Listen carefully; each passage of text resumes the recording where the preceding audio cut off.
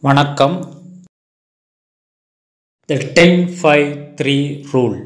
This rule came from the book called The Shortest Investment Book Ever Wall Street Secrets for Making Every Dollar Count by James O'Donnell. This rule is suggested for long term investment that is at least 15 to 20 years. This is a rule of thumb which specifically helps in determining the allocation of investment in portfolios in the long run. It states that the average expected return of equities must be 10%, debt must be 5%, and liquid cash must be 3%. Shall we discuss with one example? My age is 46. I want to take moderate risk. I have 1 lakh rupees. Now I want to invest it.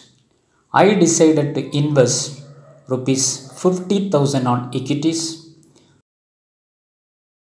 rupees 40,000 on debts, and rupees 10,000 on liquid investment. That is, the liquid investment I should get it at any time. Now I should choose the investment vehicles where the minimum returns must be from equities 10%, from debts 5%, and liquid cash 3%. I have chosen the investment. Now, what is my return? Equities 50,000 into 10%, 5000. Debts 40,000 into 5%, rupees 2000. Liquid cash 10,000 into 3%, rupees 300. So, the total returns on this portfolio equal to rupees 7300 per annum.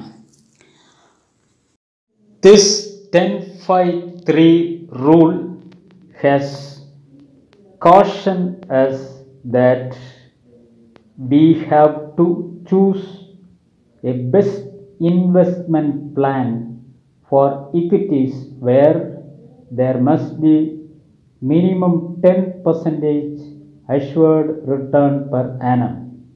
And for debts it is very easy. Only thing is we have to choose 5 percentage per annum and you, we need to be careful in choosing this liquid cash investment because according to this rule minimum 3 percentage.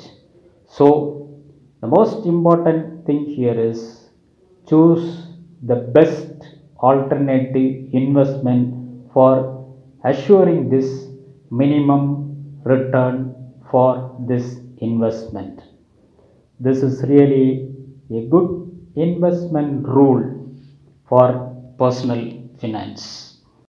We will meet with another interesting series of videos which are related to the financial planning, particularly in personal finance, and we will discuss the importance of savings and the investment strategies which was traditionally followed and even now it is well applied for the fruitful future savings to save our life and live with more joy and pleasure.